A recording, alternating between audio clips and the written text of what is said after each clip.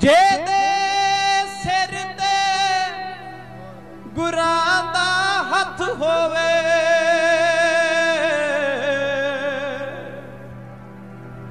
ਸੰਗ ਤੇ ਉਹਦੀ ਤਕਦੀਰ ਦੇ ਕਿਆ ਕਹਿਣੇ?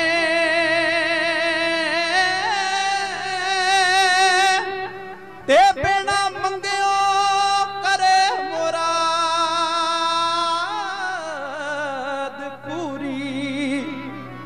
ਤੇ ਇਹੋ ਜਹੇ ਪੀਰ ਦੇ।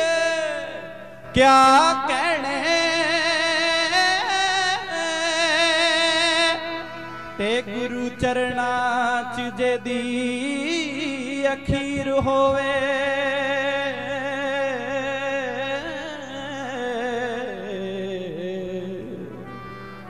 ਤੇ ਇਹੋ ਜਹੀ